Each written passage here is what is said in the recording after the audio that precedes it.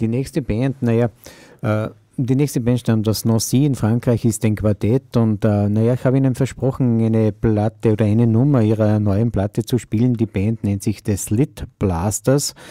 Das, der Titel heißt The Dunk Fly und ja, eigentlich ist es eine Punkband, aber naja, hören wir einmal hinein in diese Platte The Slit Blasters.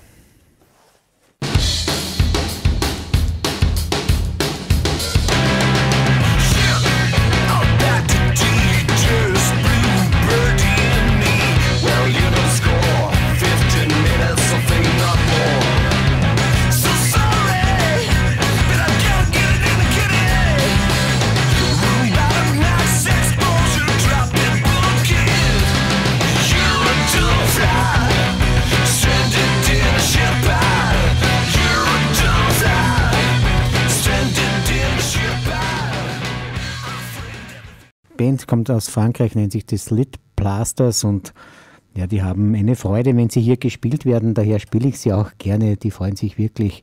Und äh, das, der Titel heißt Professor Crazor. Are you